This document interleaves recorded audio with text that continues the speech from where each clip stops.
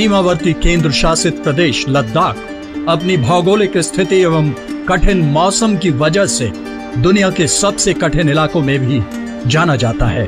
विगत एक दशक से राष्ट्र ने माननीय प्रधानमंत्री श्री नरेंद्र मोदी के गतिशील नेतृत्व में न केवल विरोधियों के नापाक इरादों पर काबू पाने के लिए सक्रिय दृष्टिकोण अपनाया है, बल्कि सीमा पर बुनियादी ढांचे के निर्माण की गति को भी बढ़ावा दिया है।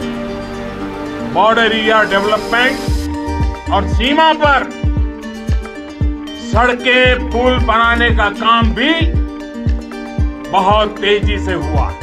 मनाली और लेह के बीच निर्माणाधीन निमू पदम दारचा रोड पर शिंकुला दर्रे पर 4,800 मीटर की ऊंचाई पर दुनिया की सबसे ऊँची शिंकुला सुरंग के निर्माण की मंजूरी भारत सरकार की सक्रिय पहलों में से एक है। सीमा सड़क संगठन को इस महत्वाकांक्षी परियोजना के कार्यान्वयन की ज़िम्मेदारी सौंपी गई है।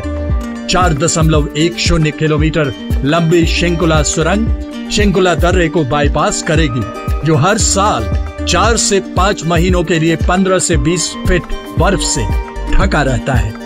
ये सुरंग ट्विन ट्यूब होगी तथा इसमें हर 500 मीटर पर क्रॉस पैसेज उपलब्ध कराए जाएँगे। इस सुरंग के निर्माण से चार किलोमीटर यात्रा की दूरी और 30 मिनट की समय में कमी आएगी।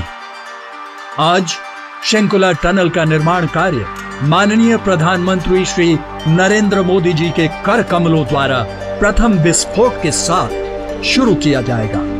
अपने रणनीतिक सैन्य महत्व के अलावा यह सुरंग लद्दाख को हर मौसम में कनेक्टिविटी प्रदान करेगी और हिमाचल प्रदेश तथा लद्दाख में सामाजिक और आर्थिक विकास को बढ़ावा देगी। शंकुला सुरंग का निर्माण, भारत के माननीय प्रधानमंत्री श्री नरेंद्र मोदी के विकसित भारत और आत्मनिर्भर भारत के सपने को साकार करने की दिशा में एक बड़ा कदम होगा।